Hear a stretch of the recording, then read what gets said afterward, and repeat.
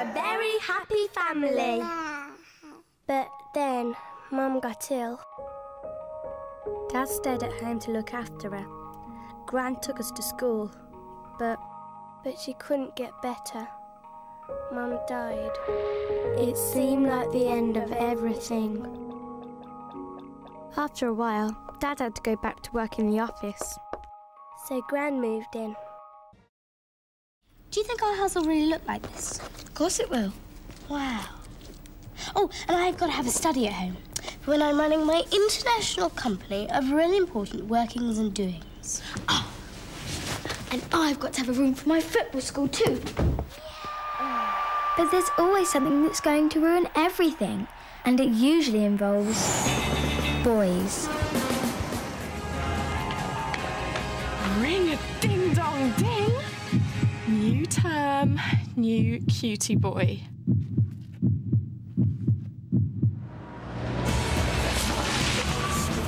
Ever felt you were just plain and simple, born to have accidents?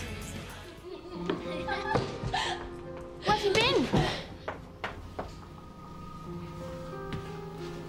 I've been so worried. I can't believe you'd be so selfish. You stay out all night, then take doll off without even telling me. What was I supposed to think? Sorry, we just. You make me sick.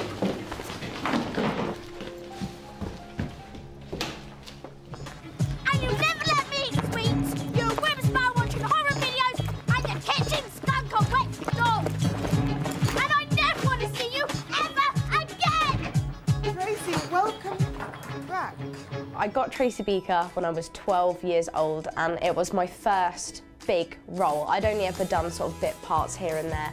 Um, and what a first role to get. Obviously, we've all heard of Jacqueline Wilson. I had read all of her books apart from Tracy Beaker. It was the only book I hadn't read. So when I found out I got the audition, I nicked a copy off my friend and was frantically trying to read it before the audition. Someone's put that stuff in my room. Look, uh, Tracy, you've been gone for three months. We thought you left us for good this time. This is my room! Whoever's in it can pack up that scratchy stuff and clear off right now! The way that Jacqueline wrote Tracy, I identified with her straight away. She was feisty, she was this huge character. How come no one ever believes me, huh? The impact that Tracy Beaker has had is just absolutely incredible. Even still, I have kids coming up to me from foster care and looked after children just thanking us for making the programme because it's no longer a taboo subject. Kids on the street got to look out for each other. You're on the streets then? Looks like it, doesn't it? I'm Ben. Ben Bamboos. Tracy Beaker. I haven't seen any other programs that are set in a care home. It's just like it's unique. It also teaches us what it's like in a dumping ground. And what they go through, like, in everyday life. Through the eyes of Tracy, Life for Looked After Children was revealed to a television audience for the first time, and the dumping ground became an important place in the hearts and minds of British kids. Jacqueline doesn't shy away from tough subjects. She's not patronising when she writes, she does it with humour and wit, and I cannot wait to pass down those books to my daughter. No, no, no, no, no, no. They're not ours. You've got to be kidding me. Can you imagine? So, what is. What? Oh, We're a children's home.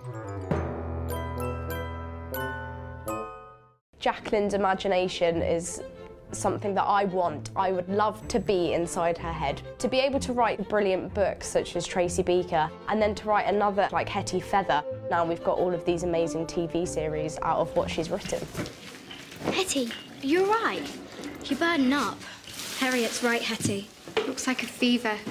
There's nothing wrong with me, I'm fine. Stay away from me, Feather. Ugh. Hetty's got the lurgy. No, I haven't. I was sent the book of Hetty Feather to read, and I cried, and I loved it, and I fell in love with it. And it was at that moment that I knew completely that I wanted to bring it to the screen. I knew that I loved Hetty so much that I could commit a lot of time to this feisty, wonderful, contemporary Victorian girl. Ida. We made it. We did.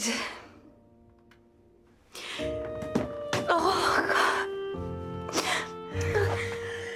I like Hetty Feather because it's a drama series where Hetty, she doesn't live with her mom anymore. She lives in this place where she has lots of secrets with her friends. Jacqueline Wilson's characters feel like they're realistic and they have similar problems to us. You can feel like you're that person in the book when she's writing it. I really enjoy reading her books and she's, she's a big inspiration. She's wrote a lot of books that I've read and she's inspired me to write my own pieces of writing in school.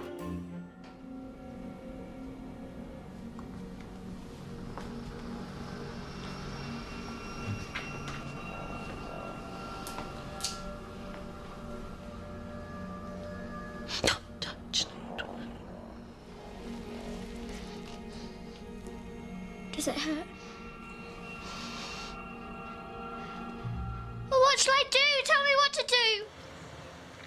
I could be your foster mother. What do you say?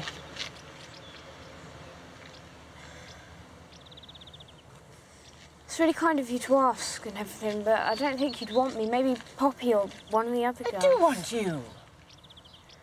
If you knew everything about me, you'd only change your mind. April, I know everything about you. Everything. You still want me? Yes. Jacqueline obviously changed my life because she wrote Tracy Beaker, and I am now forever Tracy Beaker, and it is a title that I will cherish for the rest of my life. This very special lady has a gold Blue Peter badge. It doesn't get better than that. She's got people into books, into reading. She is an absolute legend. Our first ever guest editor here on Blue Peter. Jacqueline, we love you. You're incredible. Jacqueline, I could not be more proud of you. Congratulations, and this is so well deserved.